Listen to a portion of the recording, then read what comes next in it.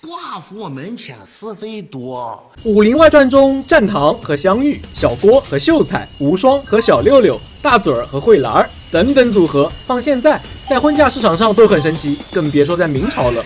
那么，明朝真实的民间婚嫁情况是什么样的呢？暑假了，就以看了 N 遍的《武林外传》为例，咱们一起看看明朝婚姻记录。大家好，我是八成新 UP 主紫美零零七，爆锤这个三连按钮，特别是那些从未关注一集不落的，都不知道心疼人的。首先，多大才能结婚呢？现在咱们是男二十二，女二十的结婚年龄。《武林外传》为了过审和演员演技考虑，人物也都是二十多岁谈恋爱。而根据大明律规定，男方十六，女方十四，并听婚娶，否则不予结婚。也就是说，像小鸡子的相遇，小时候被战堂劫持的时候，他们应该正好是法定的结婚年龄。那除了年龄之外，明朝结婚的限制条件还有很多。第一，同性不能结婚。自西周以来，古代一直信奉同性为婚，其后不凡的习俗。主要以前人不怎么移动，同性多少都有点沾亲带故，要不就是地方小，移动不了。看视频的有同性情侣吗？有的科波一。哦不，你们这么热爱学习，想必都是单身吧？第二，亲属不得为婚。相比于前两期咱们讲汉朝皇帝，涉及到无数的近亲结婚，明朝在这方面非常排斥。立下法律严刑禁止，《大明律尊卑为婚条》中规定，犯了这条规定要扒你的裤子，打你的屁屁。看这条，若娶几只姑舅、两姨姊妹者，杖八十，并离异。宝玉听到没？漏。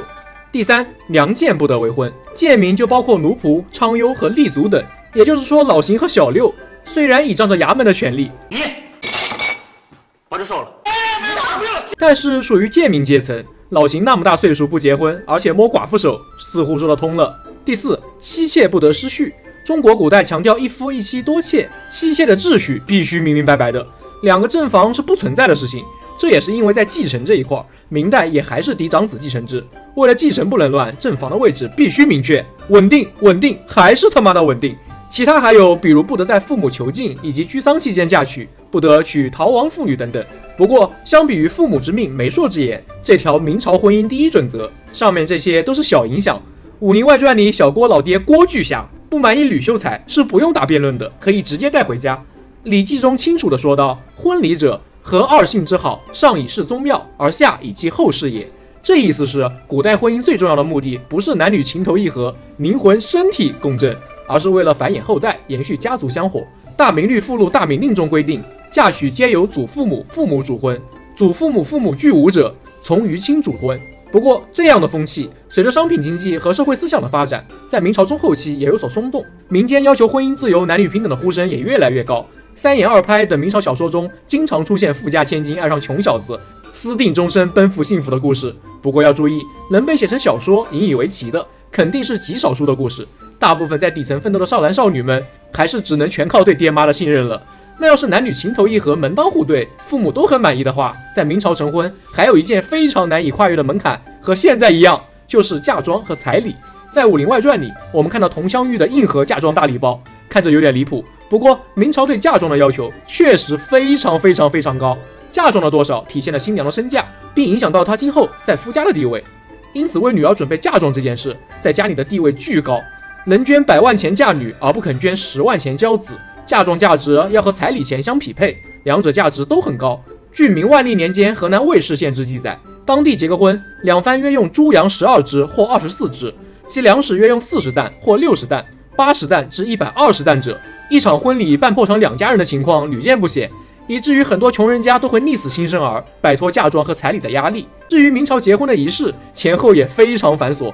现在结婚免费领红本，但在明朝大明令里令规定，凡民间嫁娶，并依诸文公家礼，婚姻仪式要经过纳采、问名、纳吉、纳征、请息、亲迎六个阶段才能过门，在于结婚第二天以及三个月后完成见舅姑和庙见之礼，才算正式嫁入夫家，婚姻关系正式确立。那是想离婚该咋办呢？有冷静期吗？离婚的第一种形式，单方面离婚，但是这个单方面指的是男子单方面休妻。女方单方面结婚是不被允许的。不过大明律遵循传统的七出三不去原则，迂腐的旧社会啊，生不出儿子是真的可以合法休妻的。但是如果妻子没有这些行为的话，丈夫单方面休妻也是不被允许的，会扒你的裤子，打你的屁屁。第二种是双方都自愿离婚的，叫做和离。这个明朝是允许夫妻经过合议达成离婚的，而且很简单，没有离婚冷静期，写个放弃书就行。但是现实情况是，男方提出和离比较容易，而女方提出成功的案例就很少。其中有个重要因素，和离时女方是要带走全部嫁妆的。第三种是强制离婚，主要是围绕一绝，指的是家暴或者是一方对另一方的亲属有暴力、通奸等行为，可以经官府判决强制离婚，闹不好还要陈诉。那么女子像香玉一样，年纪轻轻成了寡妇，还能改嫁吗？怎么改嫁呢？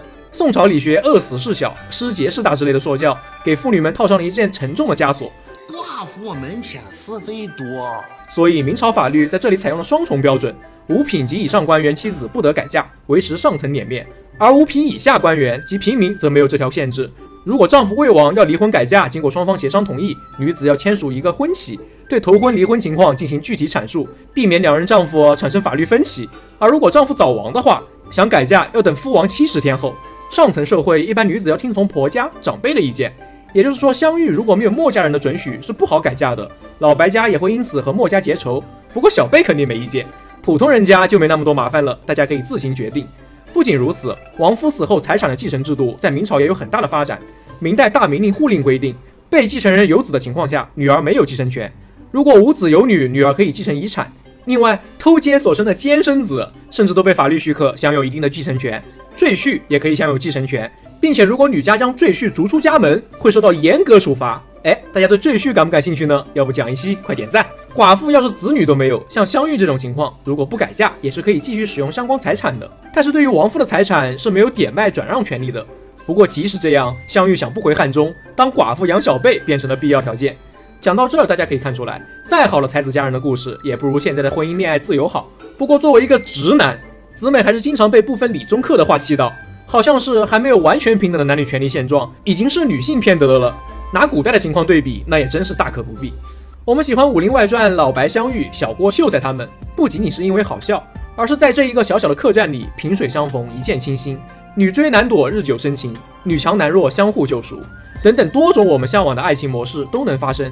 暑假必备的《武林外传》是子美最爱的电视剧之一，这里面还有很多可讲的，比如秀才一直考的科举、明朝人的饮食、明朝的国际化等等。